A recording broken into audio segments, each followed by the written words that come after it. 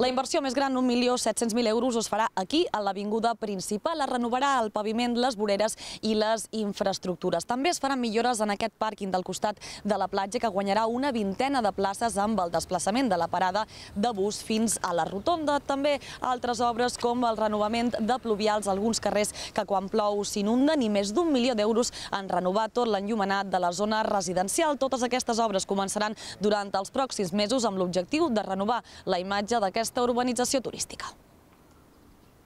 Ja tenim un, hotels que ja han pujat de categoria, han d'anar a que a mantenir una urbanització en tot el que se mereix. ¿no? Cualquier inversión en las urbanizaciones turísticas nosotros las aplaudimos. Hace muchos años que estamos diciendo que lo que se recoge del impuesto turístico sostenible, una parte, por lo menos una parte, tiene que ir a las urbanizaciones turísticas, que además nos ayudará a recaptar más impuesto turístico.